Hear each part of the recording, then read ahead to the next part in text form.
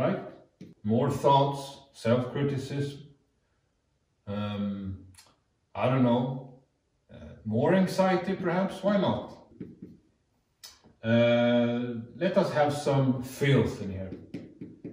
Dirty websites, filth. Seeking validation.